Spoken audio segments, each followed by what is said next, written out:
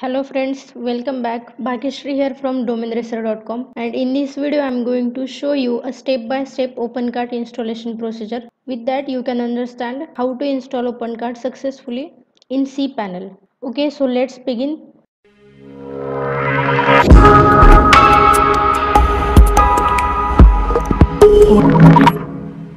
Start the procedure with login into your cPanel. Enter here your username and password and click on login button. In cPanel scroll down for Softaculous app installer. Here and click on Softaculous app installer. Now here you have to search for OpenCart in e-commerce section. So click on e-commerce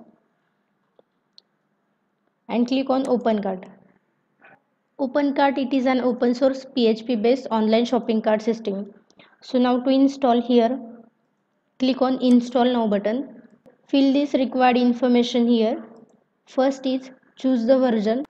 Here I am selecting the current version 3.0 2.0. Second one is choose protocol. Here I am selecting HTTPS. If you have purchased SSL certificate on your domain then choose HTTPS or you can choose HTTP with www third is choose domain. Here i have multiple domain so i'm choosing first one. If you have multiple domain then choose a particular domain on which domain you want to install opencart.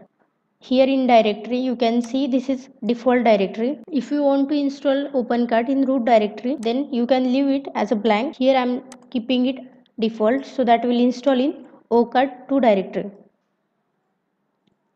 Here this is data directory for demonstration purpose, I am keeping it default. Next is store setting.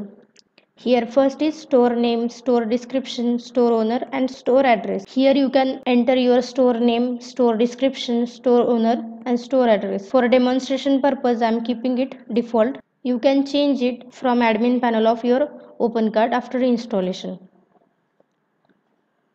Here in admin account, enter your admin username and admin password. Next is admin email.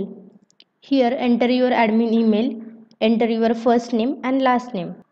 And lastly just click on install button. So congratulations the software OpenCart was installed successfully. It will provide you two links. First one is your client panel URL where we install OpenCart here you can see directory OpenCart to directory and second one is your admin panel URL now let's check both the links. Here click on first link. This is your client site. Your client can see your OpenCart site like this. And next one is your admin panel site. If you want to log in as an admin for that click on this link. And now to log in into your OpenCart admin panel here enter your username and password. And click on login button. This is your OpenCart admin panel. From here you can manage all your administrative tasks like your total orders, total sales and your total customers. So this way we have successfully installed OpenCart in cPanel via Softaculous app installer.